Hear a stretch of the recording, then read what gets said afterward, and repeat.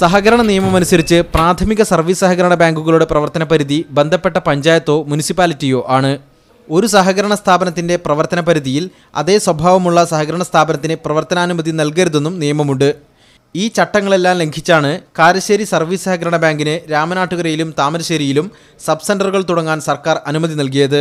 Karassery service സഹകരണ bank കൊടുക്കുന്ന എല്ലാ സേവനങ്ങളും മറ്റ് സഹകരണ സ്ഥാപനങ്ങൾ കൊടുക്കുന്നുണ്ട്. അപ്പോൾ അത്തരം സഹകരണ സ്ഥാപനങ്ങൾ കഴിവുള്ളവൻ അതിജീവിക്കുക എന്ന് പറയുന്ന ഒരു രീതിയിലേക്ക് പോയാൽ മറ്റ് സഹകരണ സ്ഥാപനങ്ങളെല്ലാം തകർന്നു പോകും. സഹകരണ സെക്രട്ടറിയെ ഗവൺമെന്റിനെ തെറ്റിദ്ധരിപ്പിച്ചുകൊണ്ട് വാങ്ങിയ ഒരു ഉത്തരവാണ്. ആ ഉത്തരവ് ക്യാൻസൽ ചെയ്തേ മതിയാവും. കാരശ്ശേരി ബാങ്കിന്റെ പ്രവർത്തന പരിധി വിപുലീകരിച്ച നടപടിക്കെതിരെ ഈ മാസം പത്തിന് കോഴിക്കോട് ജില്ലയിലെ സഹകരണ ബാങ്കുകൾ അടച്ചിട്ട് പ്രതിഷേധിക്കും. എന്നാൽ പ്രവർത്തന പരിധി വിപുലീകരിച്ചതിൽ നിയമവിരുദ്ധമായി ഒന്നുമില്ലെന്നാണ് കാരശ്ശേരി സഹകരണ ബാങ്ക് മാനേജ്മെന്റിന്റെ നിലപാട്.